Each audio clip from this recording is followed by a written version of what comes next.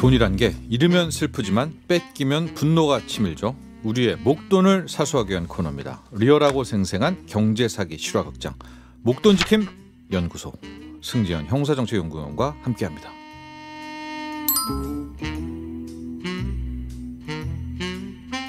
네, 승재원 의원 스튜디오에 나와 계십니다. 안녕하십니까? 네, 어, 네. 벌써 이제 또 일주일이 지났습니다. 이런 무더위에 지금 어떻게 지내고 계시죠? 어머, 제 머릿속에는 목돈 지킴 연구소밖에 없죠. 제가 돌아온 목돈 지킴 연구소인데 음. 네, 어떻게든지 우리 청취자분들의 귀를 솔깃하게 만들 수 있는 네. 어, 내용을 가지고 오기 위해서 불철주야 단 한 가지의 목적을 가지고 어, 집중하고 있습니다. 오늘이 절기상 대서입니다. 예. 대서. 체질이요. 우리 예, 승위원께서는 좀 더위를 많이 타십니까? 아니면 음, 저는 별명이 난로맨이었습니다. 난로맨? 어. 그런 별명은 처음 들어봐요. 뭐 여러 별명이 있지만 너 난로맨, 야 난로맨 이런 거는 뭐, 뭐 급조하신 거 아닌가요? 아닙니다. 난로맨? 아니 제가 그 추위를 너무 많이 타서 하여튼간 난로가 없으면 회사에서 일을 할 수가 없었던 적이 있어요. 그래서 출근을 하면 그 앞에 같은 저희와 동료이신 경비 선생님에게 네. 제 방만은 먼저 좀 난방을 여어주세요. 제가 보통 이렇게 굉장히 일찍 출근하는 편이거든요. 뭐, 뭐 겨울이나 여름이나 뭐 전부 다 일곱 시 특혜를 특혜를 요구하신 거예요. 아니요 일곱 시에 이제 출근. 네. 그래서 네. 뭔가 이렇게 가장 중간에 히팅을 좀 빨리 해달라. 그리고 제 방에는 언제나 주머니 난로, 손으로 갖고 있는 난로뿐만 아니라 음. 히타기 이런 게 겨울이면 한 두 개, 세 개가 돌아가고 있어서 추위는 많이 타는데 뭐 더위는 저희 집에 에어컨이 없으니까요. 아, 에어컨 없이 살 수 있습니다. 그 여름이 오히려 좋은 거네요. 아 여름은 너무 좋죠. 여름은 그냥 벗으면 되니까.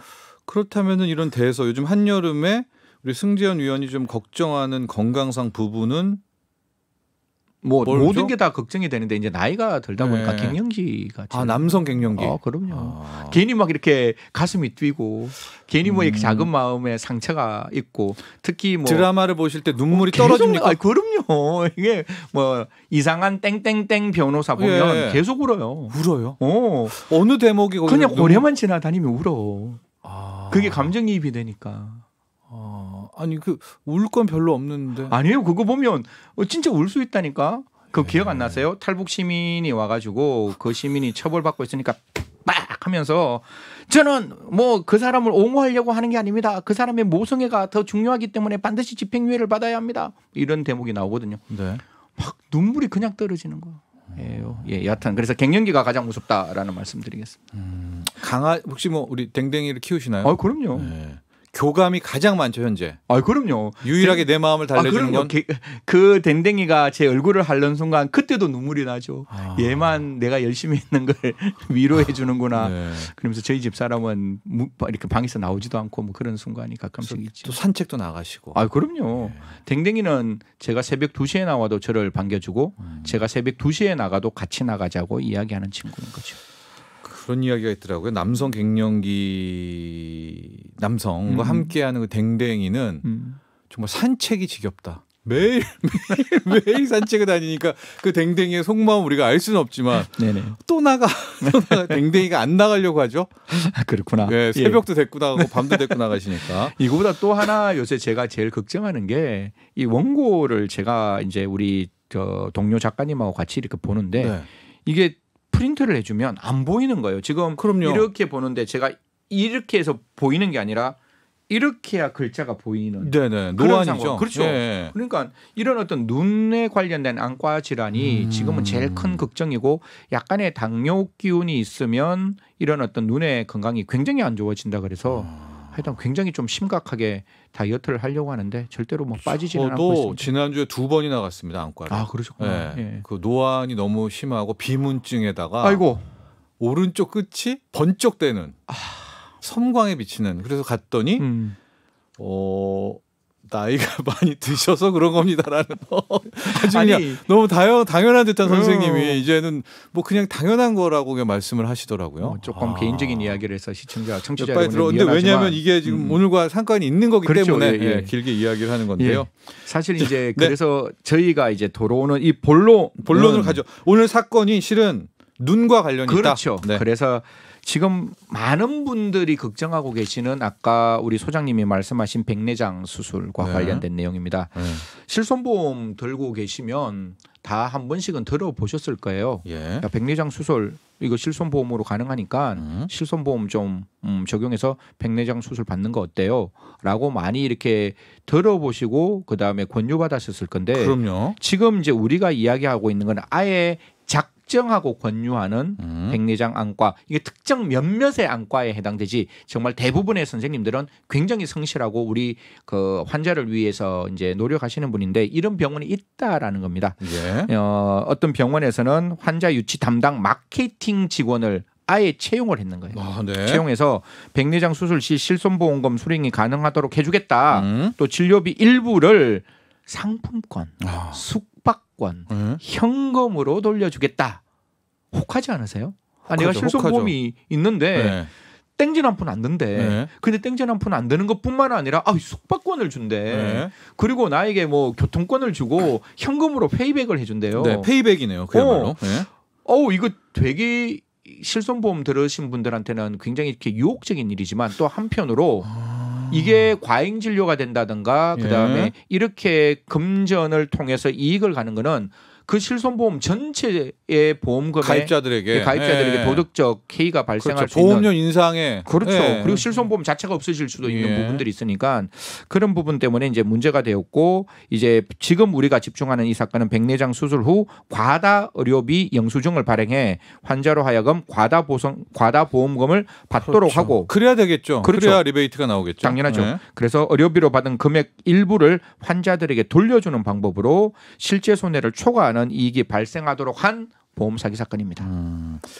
그런데 이 백내장 수술도 실은 두 가지가 있는 거죠. 그러니까 그렇죠. 건강보험으로 커버가 되는 음, 음. 것도 있고 아예 이제 실손으로 가야. 되는 예, 것들이 있고. 이게 급여와 비급여가 두 가지가 예, 있는데 예. 급여는 우리가 흔히 말해서 초점을 하나로 맞추는 수술은 예. 급여 대상이 돼요. 단초점. 그렇죠. 네. 그런데 이제 하나의 초점이 아니라 다 두 개, 세 개 이상 멀티로 초점을 맞추는 거는 어. 비급여가 예. 되는 거예요. 예. 그러니까 이건 뭐 병원에 진짜 기, 어, 다초점이 필요한 환자들이 있겠죠. 예. 그런 분들은 당연히 그렇게 다초점을 해야 되는데 음. 이제 이 병원에서는 자기적으로 이러한 비급여를 할 수 있도록 권유하고 네. 또 권유했을 뿐만 아니라 이 의료비를 과다 청구하도록 영수증을 높게 발행해 줬는 거예요. 쉽게 음. 말하면 그냥 의료비는 10만 원이면 되는데 네. 우리가 실손 보험하려면 그 영수증이 필요하잖아요. 그렇죠. 거기는 30만 원, 네. 50만 원, 100만 원 이렇게 했으니까 네. 그럼 실손의 보험회사 입장에서는 아니 영수증에 100만 원 찍혀 있으면 100만 원이 의료비로 지급됐다라고 볼 수밖에. 없는 하고 거잖아요. 이제 거기에서 그 자기의 실손 그 세대별로 해서 이제 나오겠죠. 그렇죠. 그렇게 뭐 이제 다 가- 나오기도 하고 예, 예. 뭐 60%가 나오기도 그렇죠. 하고. 그렇게 되는 예, 게 예. 그 보험에 따라서 나오게 되는데 결국 이러다 보니까 과잉 진료를 하게끔 만든 병원이 사실상 가장 잘못된 병원인 거죠. 그게 음. 제대로 되면 영수증만 발행했다면 뒤에 리베이트 안 주면 되는 거잖아요. 예. 그래서 이 보험 사기는 이 병원이 이러한 영수증 과다 청구를 했다는 의미에서 환자분의 어떤 그 책임을 묻는 것이 아니라 물론 그 환자분도 적극적으로 가담했으면 공무원은 될 수 있지만 병원이 이러한 어떤 실손 어, 보험금을 이용한 어, 병원으로 사기죄로 지금 이제 수사를 받고 있다 이런 말씀드리겠습니다. 다시 한 번 말씀드리면 실제 이제 어르신 중에 백내장이시고요. 네네. 또 다초점 수술이 보이시는 그냥 하- 그건 걱정이 없는 거죠. 그렇죠. 비급여로 당연히 받으시고 권리를 찾는 건데. 그렇죠. 권리를 찾고 그 정확한 의료비가 정확히 산정되면 당연히 내가 든 실손보험에 나의 권리를 행사하는 건데 음. 이제 정철증 소장님하고 저하고 짜는 거예요. 음. 저도 20만 원밖에 안 된다는 걸 알면서 이거를 50만 원 영수증을 만들어서 아. 그 30만 원을 정 소장님 15만 원, 승재현 15만 원 이렇게 갖는 거죠.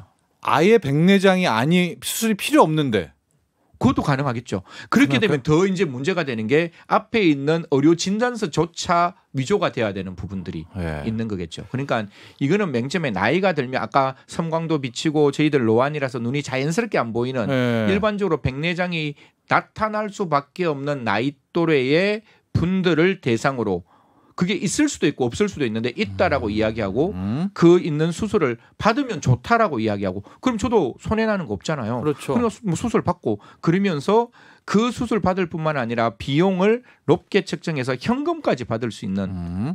상황을 이 마케팅이 이 의료를 저 모집하는 사람이 음. 했다는 거니까 마케팅 네. 직원이 했다는 거니까 어떻게 보면 그 경계선이기도 한데 예 예. 저는 근데 뭐 녹내장의 가능성이 있다고 했기 어. 때문에 백내장은 아직은 아니지만은 예, 이제 예. 어 이런 상황이 된 겁니다. 그러니까 이 영역에서 완전히 넘어간 거 사기 쪽으로 얼마나 그렇죠. 많습니까? 이제 이건 보험사들이 알겠죠. 그렇죠. 예. 보험사 중에서 손해보험협회, 생명보험협회, 금융감독원, 경찰청까지 이제 예. 보험 사기 대응을 하는 그 기관들의 기관들의 이제 그 말을 들어보면 지난 4월부터 6월까지 백내장만 그 집중해서 음. 보험 사기를 조사했는 그 결과 백내장 어떤 포상금 제도를 운영했습니다. 그러니까 이걸 잡기 위해서는 포상금을 운영할 수밖에 없는 거잖아요. 네. 이렇게 과잉 진료하는 병원이 있으면 우리에게 신고해 주세요. 신고하면 우리가 포상금을 아, 드리겠습니다. 예. 라고 하니까 35개 안과 병원에서 60여 건의 보험 사기가 신고됐다는 거죠. 아. 그러니까 뭐 저는 그 거듭 말씀 대부분의 안과는 굉장히 네. 선량한 안과인데 환자분들도 아프신 거고요. 그로 예, 당연히 예, 아프신 예, 건데 예. 이제 이렇게 악의적으로 이용한 병원과 음. 거기에 부안해동하신 환 자분들이 계셨고 음. 그 환자분들이 그런 말을 들었을 때 정 그냥 정의로운 또 뭐 정의롭다고 말하기는 그좀뭐 정의로운 분들이겠죠. 정의로운 분들은 이렇게 신고하셔가지고 음. 어, 어떤 잘잘못이 있다라고 음. 어, 보험협회에 신고하신 거죠. 아까 말씀하신 유형 다시 한 번만 정리해 주세요. 백내장 네. 관련해서 어떤 어, 백내장 그 범죄 과잉 진료의 유형을 보면 네. 첫 번째 과잉 수술이 12건. 아, 수술을 그냥 해버리는 그렇죠. 수술을 이제 과잉 수술을 하는 거고 네. 제가 제일 이제 걱정하는 게 허위 입원. 음. 그리고 아까 과다 영수증을 이제 과다 금액을 청구하는 허위 영수증. 네. 그래서 기타 그러니까 허위 영수증 빼고 기타가 한 34건이 있었는데 결국은 이 과정에서 일어난 여러 가지 이익들은 아까 제가 말씀드렸다시피 그 브로커가 환자를 아, 브로커 등장. 브로커 등장. 예, 네. 브로커에게 환자를 유인하는 가격으로 주고 음. 또 환자들에게 어, 이 일정 금액을 페이백 해줬다는 거죠. 음. 여기 아까 제가 말씀드렸던 교통과 숙박 제공도 있었다는 네. 겁니다.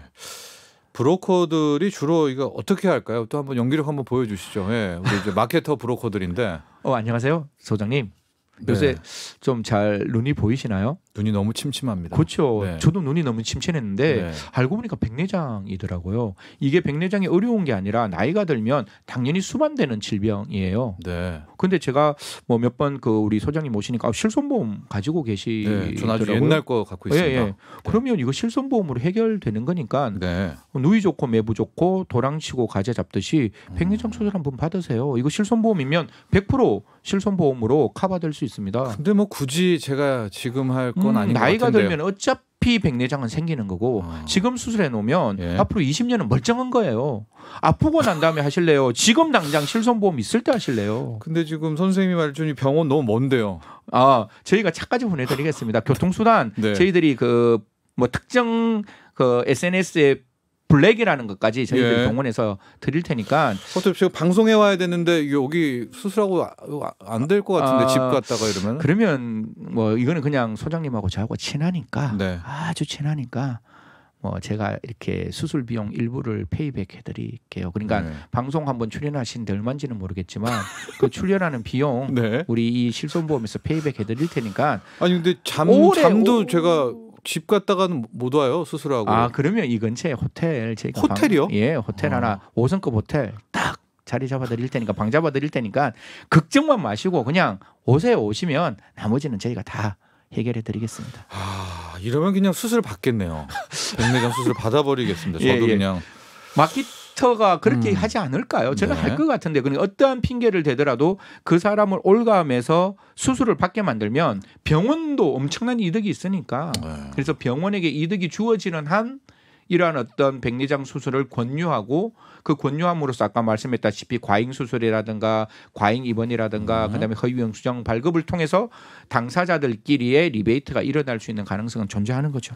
특히 보험 사기 건수도 늘어나고 있다면서요. 특히 브로커들이 많이 지금 개입이 되고 있는 그렇죠. 것 같아요. 이게 뭐 선수들이. 사실 네. 예, 뭐 안과가 어려울 수도 있지만 절대로 브로커를 사용해서 이렇게 그 의료를 권유하는 건 절대 불법이고 네. 경찰청에 따르면 보험 사기 검거 건수에 대해서만 음. 말씀드리겠습니다. 2017년에 한 1,193건 정도 어 되어 1,193건에 2,658명이었는데 네. 이거 놀라지 마십시오. 2021년에는 3배 이상 늘어납니다. 3,361건에 11,491명이나 네. 이 보험 사기에 어, 개입돼서 검거되는 건수가 되었는 거죠. 네. 그렇기 때문에 검거 건수는 약 한 세 배 정도, 음. 그다음 검거 인원은 한 네 배 정도 늘었다라는 말씀드리겠습니다. 네. 특히 아까 말씀드렸다시피 기업형 브로커와 병원이 연계된 네. 조직적 보험 사기가 아, 이거 웃으면 안 되는데 그러니까 브로커도 이제 이제 팀이 꾸려진 거잖아요. 그렇죠, 예, 그렇죠. 예. 그러니까 뭐 한 명이 아니라 예, 예. 실손보험 그러니까 딱 들어가 있는 사람들에게 무차별적으로 전화해서 음. 이거는 필요한 수술이다. 이건 어차피 받아야 되는 수술이니 네. 지금 받으셔라. 이 이후에는 실손보험 없어질 수도 있고 실손보험의 범위가 줄어들 수도 있다. 지금 우리 병원에서 가장 이 수술을 많이 했고 또 선생님도 이 수술에 손이 익숙하기 때문에 네. 절대로 선생님의 기술을 따라갈 다른 안과 선생님은 안 계신다. 음. 그래서 우리 쪽에서 백내장 수술 한 달에 뭐 300건. 그러니까 선생님이 얼마만큼 손기술이 좋겠느냐. 네. 우리한테 받아라. 그런데 불편하시면 우리가 교통도 제공하고 숙박도 제공하고 그다음 일정 부분 비용도 음. 리베이트 그 payback 해드리겠다 이렇게 가는 네. 거죠.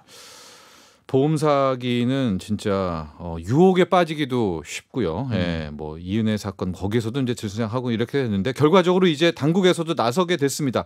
현재 지금 어떤 대응책들이 있나요? 어, 아까 제가 말씀드렸다시피 결국 이거는 내부자 거래에서 일어나는 경우가 많기 때문에 네. 어, 손해 생명보험협회와 금융감독원은 공동으로 보험 사기를 근절하고 또 건전한 어떤 보험 시장 질서를 확립하기 위해서 보험 사기 특별 신고 대상을 아까 말씀드렸다시피 이 백내장도 포함시켜서 아까 신고가 예. 들어왔다 그랬잖아요. 이 백내장뿐만 아니라 어 하이프라고 예. 또 갑상선이라고 도수 치료, 미용 성형까지 지금 확대하고 있습니다. 갑상선. 예, 아, 예. 뭐 지금은 갑상선 수술이 많이 줄었지만 또 옛날엔 필요하신 분은 반드시 해야 돼요. 이건 반드시 해야 되는데 또 이게 과잉 진료가 되었던 적이 있었기 때문에 예. 뭐 이런 부분에 대해서 전반적으로 들여다보고 가장 중요한 것은 이렇게 신고를 할 때 신고 보상금이 있다는 거죠.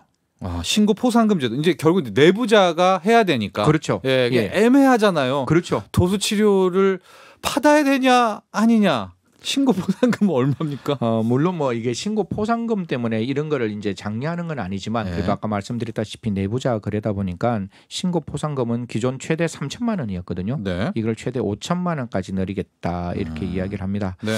뭐 협회에서는 이러한 어떤 보험 사기를 건절하기 위해서 음. 이런 어떤 포상금을 선지급하는 경우도 있다라고 합니다. 그래서 네. 특별 보상금 같은 경우에는 선지급하고 하고. 유동 인구가 많은 뭐 강남이나 광화문 등에서는 이러한 홍보를 적극적으로 추진 할 예정이라고 하니까요. 네. 아프신 분 반드시 치료 받으셔야 됩니다. 그래도 실손보험금 들었으면 내가 권리 행사하는 거 당연히 당연하죠. 할수 있는 예, 겁니다. 예. 다만 예. 이것이 악용되고 과잉되는 경우는 꼭 신고를 하셔가지고 우리가 들고 있는 실손보험금 전체 가입자의 어떤 도덕적 해이가 발생되지 않도록 그렇게 함께 노력했으면 좋겠다는 말씀드리겠습니다. 네, 여기까지 하겠습니다. 감사합니다. 네, 고맙습니다. 목돈 지킴 연구소 승재현 위원과 함께했습니다. 라디오를 켰어. 정확하고 철저한 정철진의 목돈 연구소